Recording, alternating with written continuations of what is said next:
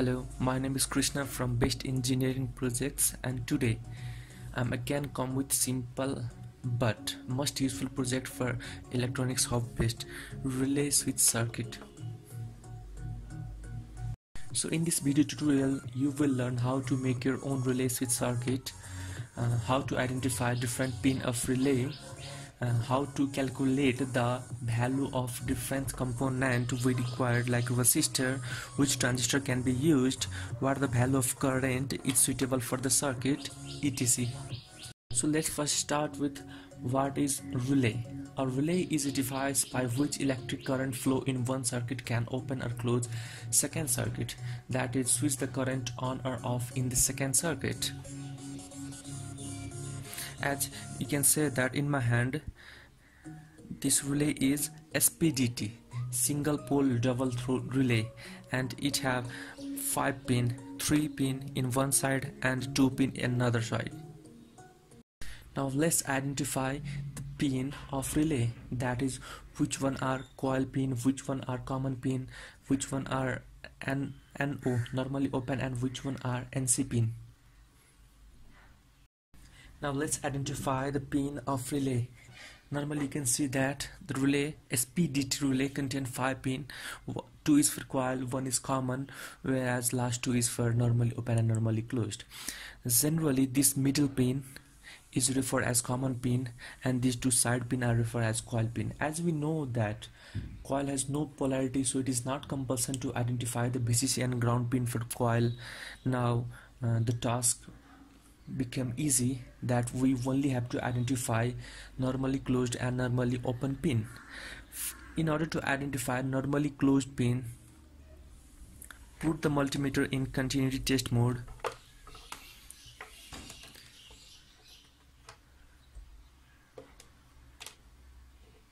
Whereas one probe connect it to common pin and another is connected to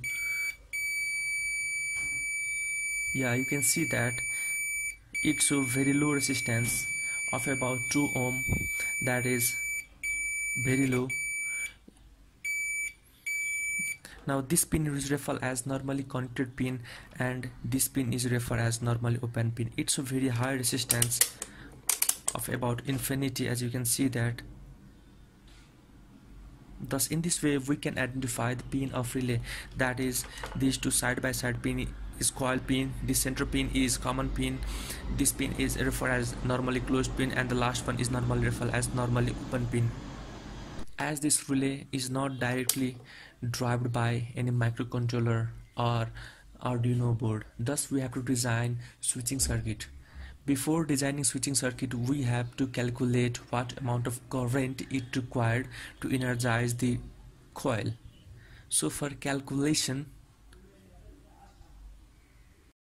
In order to calculate the current required to energize the relay, we must have knowledge about what Ohm's law is.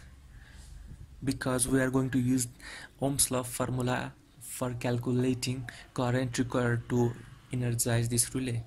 Yeah, most of the relay show the resistance of coil on their upside, but as you see that this relay only show coil voltage that is 6 volt DC no resistance is shown here. But you can check the resistance of coil by using multimeter. Set it into 2000 or even 200 ohm and check the coil resistance.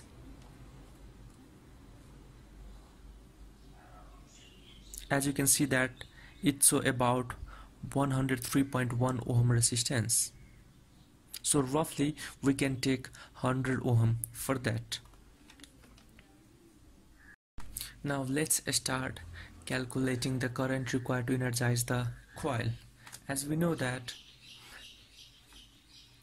R coil is equal to 103.1 ohm.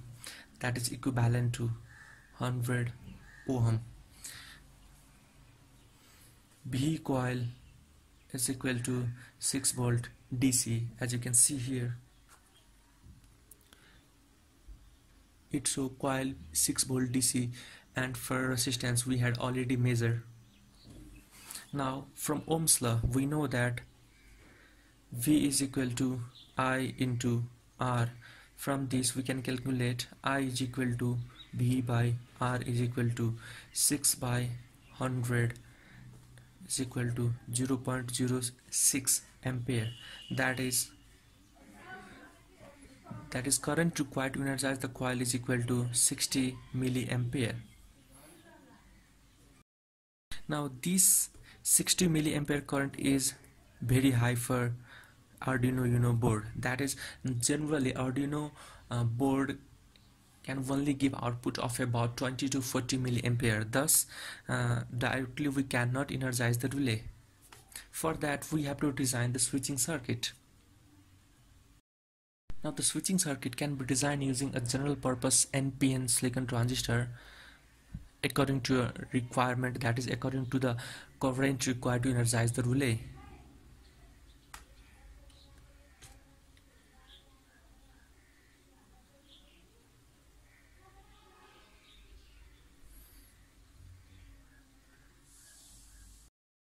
now in order to design switching circuit now we have to find a transistor.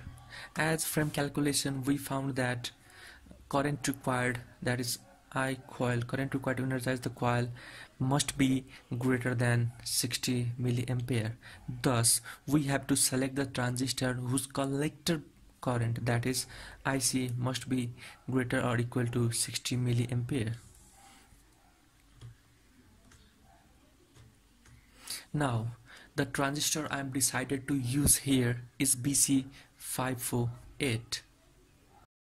According to data sheet of transistor 548 HFE is equal to 75 and the collector current we required is equal to now IC is equal to 60 milliampere thus from this equation HFE is equal to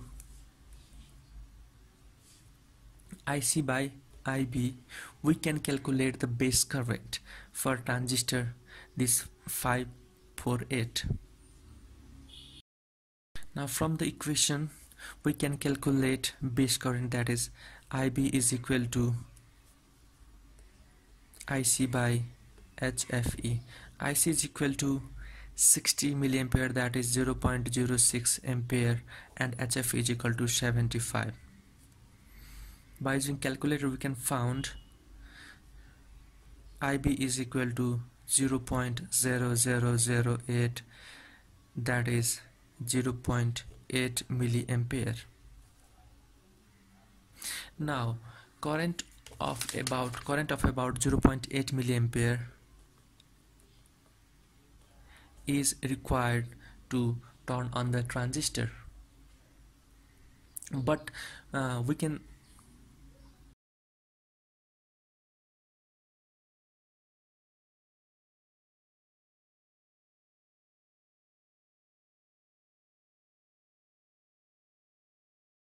but the normal output current of Arduino you know a normal micro controller is of about 20 to 40 milliampere which may burn out this transistor. In order to protect this transistor we have to use one current limiting resistor to the base of transistor.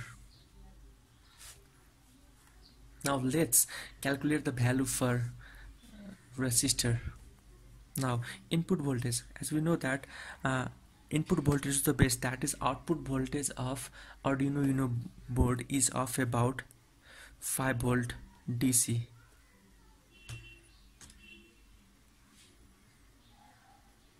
five volt DC and required current. That is base current is equal to 0.8 milliampere. Now required resistance is equal to what? As again we have to use here Ohm's law. Now R is equal to V by I. Voltage is equal to 5 volt whereas current is equal to 0.0008 is equal to 6250 ohm. So roughly we can use a resistor of about 5 kilo ohm to 6 kilo ohm now let's see the circuit here. Uh, a current limiting resistor of about 5 kilo ohm is connected between the voltage output of Arduino and base of transistor whereas emitter is grounded and from collector you can see that a relay coil is connected. That is one coil is connected to the collector whereas another coil is connected to the VCC or supply voltage uh, this supply voltage must be equal to the rated voltage of coil. As you can also see that a diode uh, of in this way you can design your own relay switch circuit